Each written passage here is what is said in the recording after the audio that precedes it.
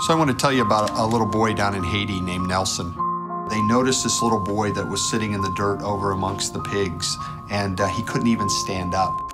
Nelson's mom had four kids, and basically the unfortunate situation was Nelson was not getting any food.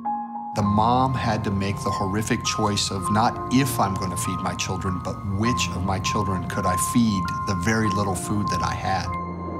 So our partners were able to speak to this mom and say, look, we'd like to try and help you out, and we'd like to take Nelson back to our orphanage, and uh, we believe that we can help him. And so the mom agreed, and uh, Nelson went back to the orphanage where he's able to eat this food.